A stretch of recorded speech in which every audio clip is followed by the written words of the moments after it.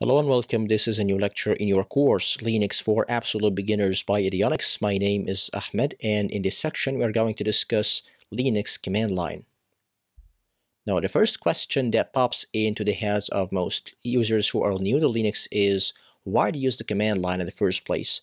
Now we have seen how we have systems like Ubuntu that have flashy GUIs, they have a lot of programs that use the GUI, they have LibreOffice for example, they have as we said, Audacity and other production software that makes the most of the average user's job done. So why do we have to use the command line? Why do we have to even learn about the command line? And most of those users are coming from environments like Microsoft Windows where the command line is actually not of much use to the average user. But in Linux, things are different. In Linux, the command line is one of the most powerful features of the system itself actually anything that is done through the GUI can be done through the command line. Actually, the GUI application in itself is just a cover to the command that is done behind the scenes on the command line. So anything like anything that you can be that can be done in the GUI can be done even more effectively in the command line.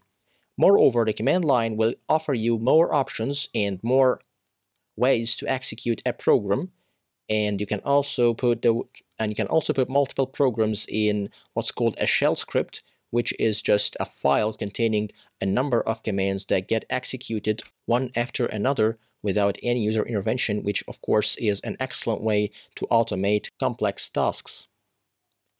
And it's true yes that command line may be a little hard to grasp at first.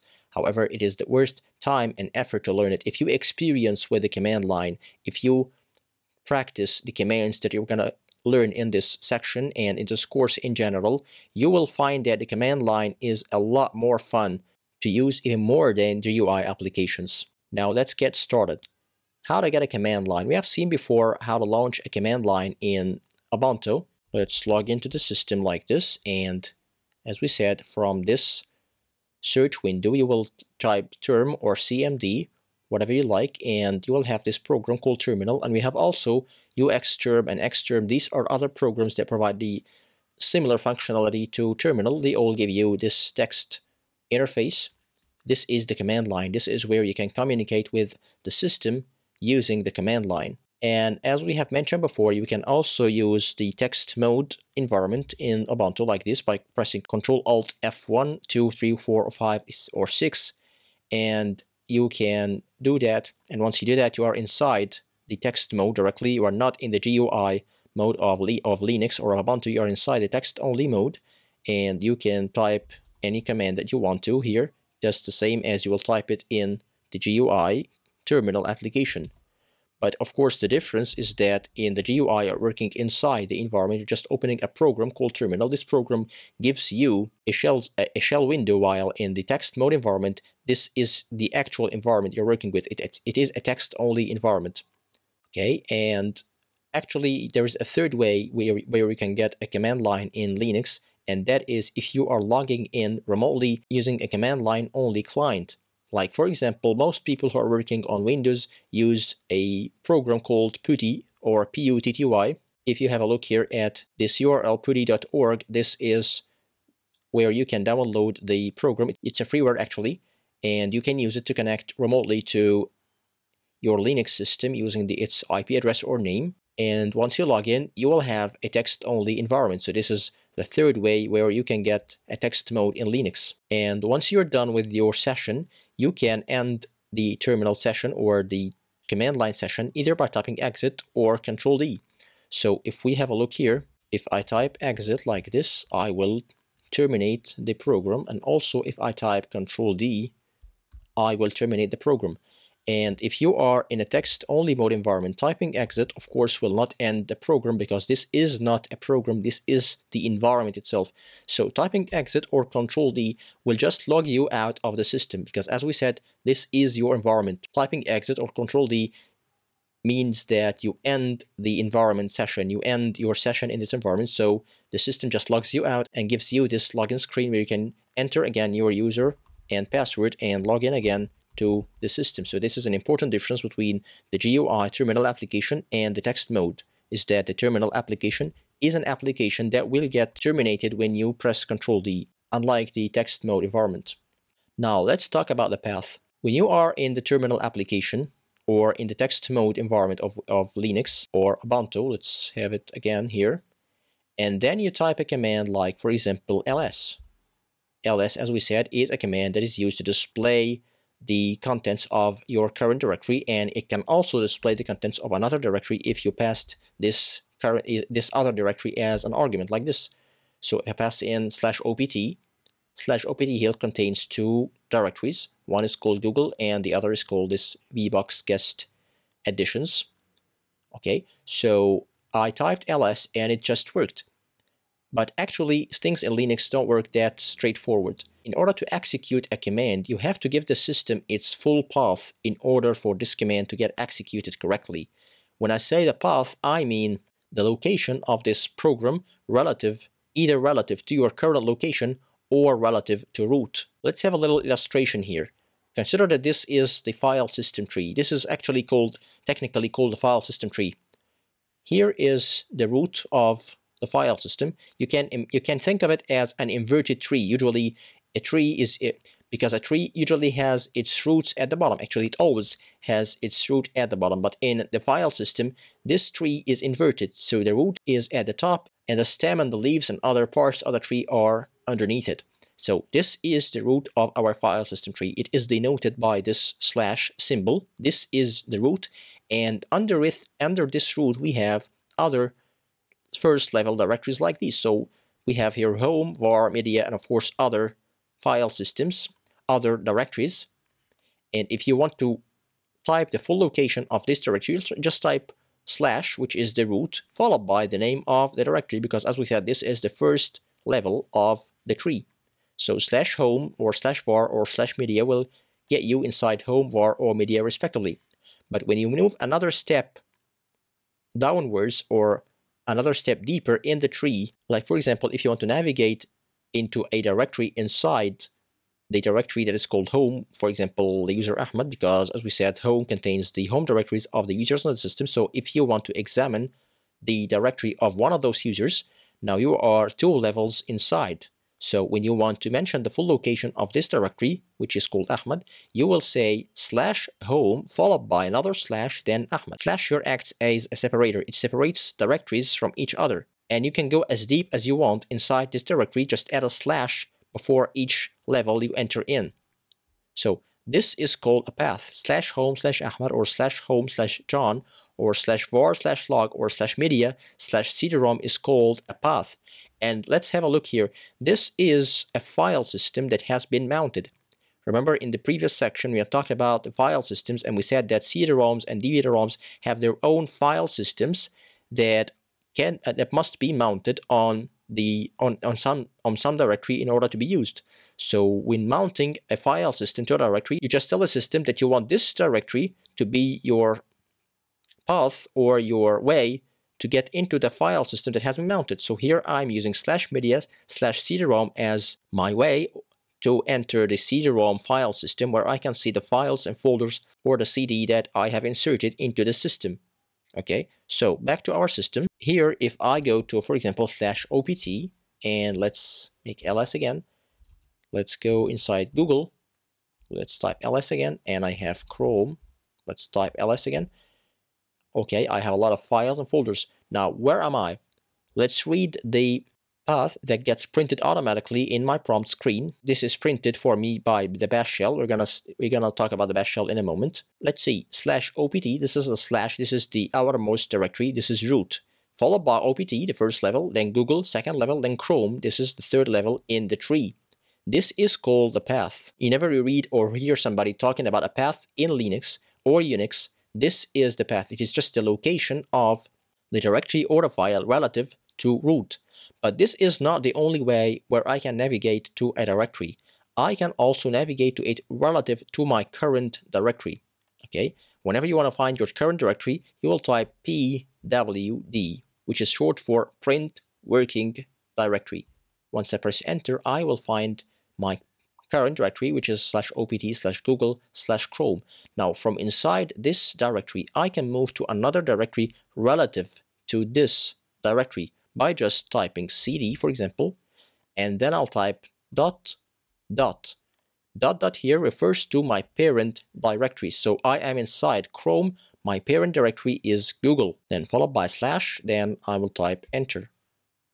Now, as you can see here, I moved immediately to the first directory here, to the parent directory, which is Google. Now, if I want to enter a Chrome again, I don't have to type cd opt Google Chrome, which of course will work, but I needn't type all this in order to navigate to Chrome, which is just inside my current directory. I can type just Chrome like this and I'm in. Now let's go up two levels, dot dot followed by dot dot. So I'm moving to the parent directory of Chrome, which is Google, then the parent directory of Google, which is OPT, and then another slash, and I will go inside VBox guest additions. Now you see I have completely changed my current directory to another directory, but I did not mention the full path of this directory relative to root. However, I mentioned its path relative to my current location, like this. Okay, I move to the parent directory, then the parent of the parent directory, then from this directory, which is OPT, I cd'd into VBox guest additions. So these are the two ways by which you can navigate to directories on the system. If you want to execute a file, Linux must have the full path of this file, either absolute or relative, in order for this file to get executed. So for example, let's say I want to launch the Firefox browser. And as we said before, this is one of the ways where you can launch a program is that you can launch it through the command line provided that you are in a GUI environment. So if I want to launch Firefox, I will have to enter the full path of Firefox, which happened to be in slash usr slash bin and then Firefox like this. When I press enter, I will have Firefox open, as you can see. Now let's close it and this and the command line is returned to me. Now, this is not the only way by which I can launch Firefox browser. I can also type Firefox like this and it will give me the very same output. Now, why is that? That is because Linux has something called the path variable. The path variable is, and a variable here means a container of data. A variable in programming in general means a container of data. So in Linux, we have something called path, and path contains data. This data is a number of directories. Let's have a look at it. Echo. Echo is just a command that is used to display the argument passed to it. So if I so if I said echo Ahmad like this, it will just display Ahmad. But if I pass in a variable like this, it will display the contents of this variable. And variables in the bash shell are preceded by a dollar sign. If you want to reference a variable, you will have to precede it by a dollar sign. So if I want to see the contents of the path variable, I will type echo followed by space followed by dollar sign and path in all caps like this. If I press enter, you will see that it contains 1, 2, 3, 4, 5, 6, 7, 8, 9 directories like this. The path variable may differ from one location from one system to another. The path variable just contains the locations in which the system will automatically look when you type a command that is not in its full path. Now, what does that mean? When I type Firefox like this, why did the system launch the browser? Because the location of Firefox, which is slash usr slash bin, is available in this path. As you can see here, usr bin is available in my path variable. And directories are separated by colons, as you can see. So usr bin is separated by the directory that precedes it by a colon, and it is separated from the directory that follows it by another colon. Okay, so as soon as you type a program without its full path, the system will look at the path variable and see whether it has a program or an executable file with that name in those paths or not. So it looked at user local sbin, found nothing, user local bin, found nothing, user sbin, found nothing, user bin, yes, it found Firefox application and it launched it for us. And this sometimes is a source of problems that are hard to debug. For example, sometimes users install two versions of a program. They install a version in slash usr slash bin and then they have a better version or a newer version and they install it in slash bin, for example. And when they launch the application by its name, they are surprised to find that the older version is the one that gets launched. That is because usr bin, us-usr slash bin comes before slash bin in their path variable. So if you have two programs with the same name, one in usr bin and the other in slash bin, the one in usr bin will get launched first. Regardless of whether the other one is a newer or a better version, the system will not care. It will just launch the first instance of this application in this directory because it has been found here. It will not even bother continue to search in the rest of the path variable. It will just launch the program and that's it. So beware when you install a program in a directory that is present in your path variable, make sure that it does not exist in another directory. Now, what if you have a program or an executable file that is in your current directory? How are you going to get it executed? For example, let's say we have here, I'll make a quick program that will just display hello, echo hello world. This is just an example of a shell script. Now, what if I want to execute this program? If I just type hello.sh, it won't get executed. It will tell me command not found. Although I have this command in my current directory, it's called hello.sh and it can be executed. But when I typed hello.sh like this, it was not executed. Why? Because it is not in my path. This directory that I'm in, slash home slash Ahmed, is not in my path. So should I have to put this in my path in order for this program to work? Well, that would be an option. A much easier option for this is to mention the full path of this program relative to my current location. As we said, I can give the system the path of the program either absolute like this slash home slash ahmed slash hello.sh and of course it's gonna execute or a much easier solution is to use the relative location. The relative location here will be dot and dot here refers to the current directory. Dot in Linux refers to the current directory you are in. So if I say dot, I'm referring to slash home slash ahmed followed by slash followed by hello.sh and if I press enter, I will execute this program. So again, dot dot refers to the home directory. So if I'm using dot dot, I will go to my previous or my parent directory, which is slash home.